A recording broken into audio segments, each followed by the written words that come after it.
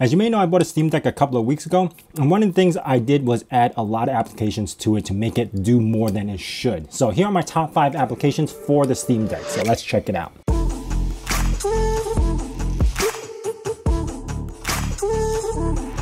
Now I'm going to post a link of the original video of the Steam Deck and the problems that I have with it right over here. I'm also going to post another video on installing Steam Deck on other operating systems other than the Steam Deck itself, which I'll post over here as well. But today's video is more about adding applications to the Steam Deck to make it more functional. So let's jump into it. Now here we have the Steam Deck OS. Like I actually have it just HDMI uh, capturing.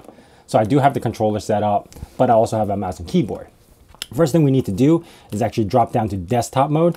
So I'm gonna go here, switch to desktop mode, and everything we do will be off the desktop mode just to install all the applications.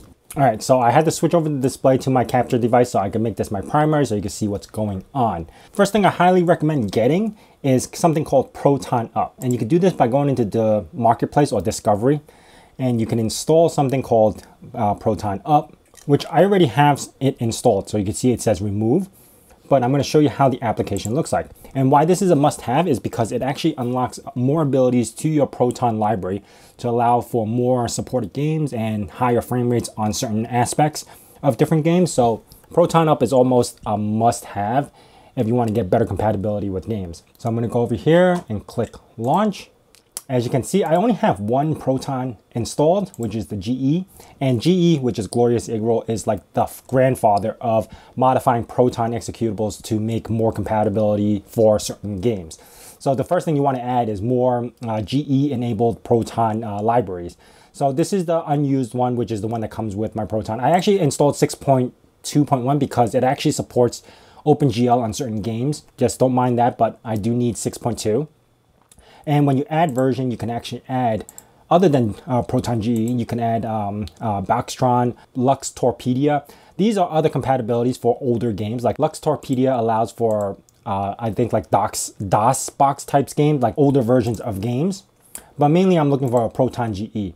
And right now 49 is the highest version and I have 47 installed. So I am a little bit behind on the versions. I'm not gonna install right now, but this is highly recommended to do. So you could actually choose the Proton versions and you could do that by just going into properties and then choosing compatibility and then choosing the GE Proton version that you have. Sometimes it will increase the frame rates and get better support and sometimes it will just make a game work. So you could either test with Proton Experimental or you could test with GE Proton. Now, the next one I highly recommend is something called EmuDeck. Now, if you're planning to play some retro gaming like PlayStation, PlayStation 2 up to PlayStation 3 or Super Nintendo, Genesis, EmuDeck is probably the, the go-to software that you want for emulation purposes.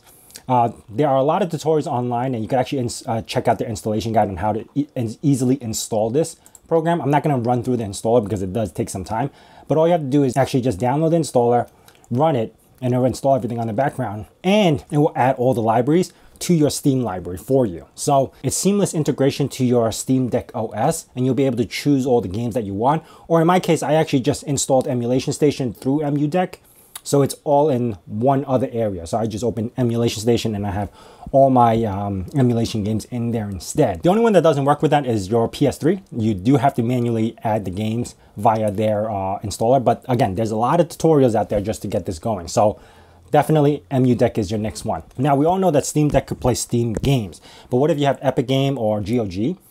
Here's another big one. You need to install something called Heroic Launcher. Heroic Game Launcher allows you to actually run GOG games and Epic games through their launcher. And that's actually how I've been playing a lot of my Epic games that I purchased before, like uh, SnowRunner and Rebel Space Galaxy. This launcher actually loads up seamlessly into your uh, Steam Deck and you'll be able to choose the games to download or run through Epic or GOG.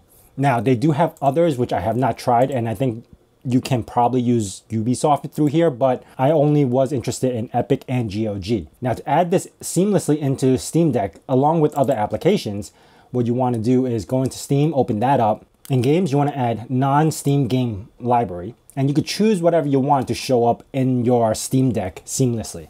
So you could just go over here, look for Heroic Game Launcher, like, yeah, it doesn't show up because I already added it. But yeah, it would be in here, and then you just have to choose what you want. You just check it off, and you're done.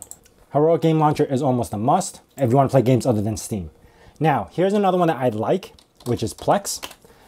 There is a client version. That's what I'm using right now, which is the Plex uh, desktop client. I watch a lot of Plex because I like their live TV now, and I also run a lot of stuff in the back end. But if you run this launcher, the Plex um, client, you can actually seamlessly run this into your Steam Deck and watch shows or movies that you have loaded or even live TV. So that's another way of using this just in case you want to use this as a media station to watch movies and stuff. So yeah, Plex client is very good. Last but not least, I play a lot of Minecraft with my son and it's not easy to actually install Minecraft onto the Steam Deck because Minecraft is WASD and you have your keyboard controls and stuff like that. So what you want to install is something called Prism. Prism Launcher allows you to make custom launches for Minecraft and it actually has plugins for Steam Deck. Like there's an actual Minecraft with all the Steam Deck uh, compatibility, so you could actually use the joystick and the controls and all the buttons from your deck to seamlessly play Minecraft. So I actually use Prism Launcher myself just to play Minecraft.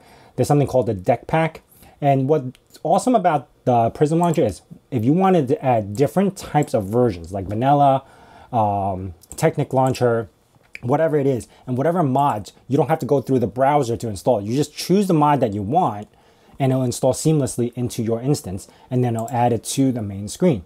Now, you can also load this seamlessly into your uh, Steam Deck dashboard, and you only see this menu right over here that you're looking at, and you could choose the launch that you want to launch and play whatever game you want.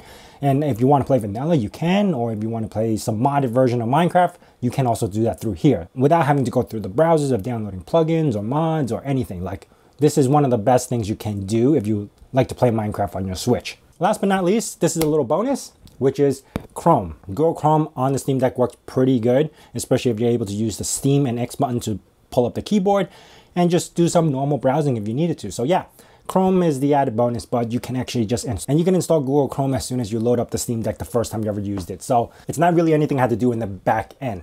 Anyway, that is it for me. If you guys have any application that you'd like to load on the Steam that is not in this list, let me know down in the comments below. And if you guys are new to this channel, consider subscribing and also hit that bell notification icon so you know when the next video is going to be out.